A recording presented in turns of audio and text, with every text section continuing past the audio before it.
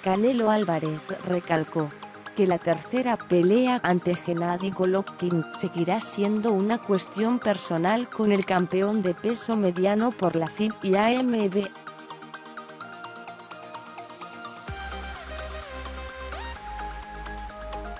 No vi la pelea contra Ryota Murata. He visto algunos de los Respondió el tapatío sobre el último choque del kazajo en entrevista con el canal de YouTube. No puedes jugar boxeo.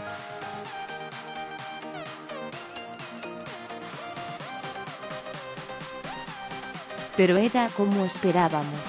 Que ganará por nocaut siempre ha sido personal tratándose de Golovkin abrir comillas.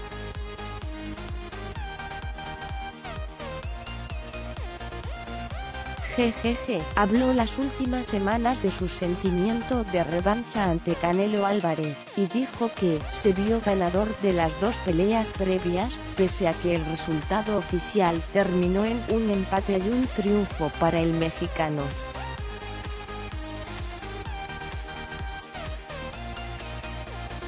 Además de ello, Golovkin criticó a Saúl por decir que es una cuestión personal, después de que dejó pasar más de cuatro años para volverse a ver las caras.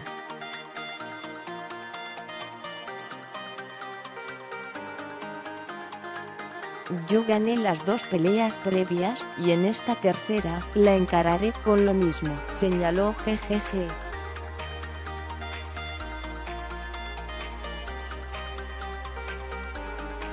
No hay resentimiento de mi parte, pero al ver cómo dice que es personal, siento que dejó pasar demasiado tiempo.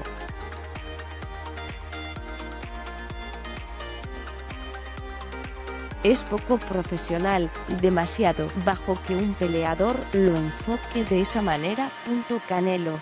Por su parte, recalcó que de darse el cierre de la trilogía no será como en el par de ocasiones previas en las 160 libras, sino que el kazajo deberá subir de categoría para desafiarlo.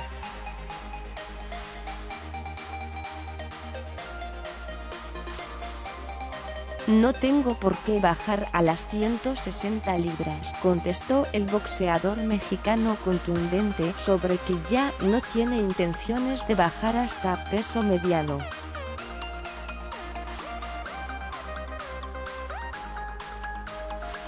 Si se da esa pelea va a ser en 168.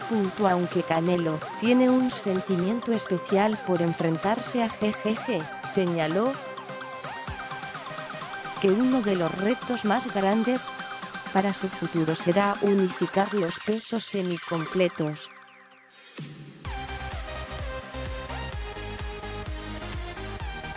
El más grande reto es unificar en las 175 libras, mencionó. Es un reto muy importante.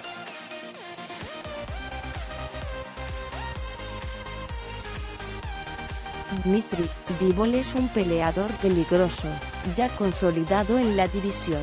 Es un buen boxeador, fuerte y que sabe medir su distancia.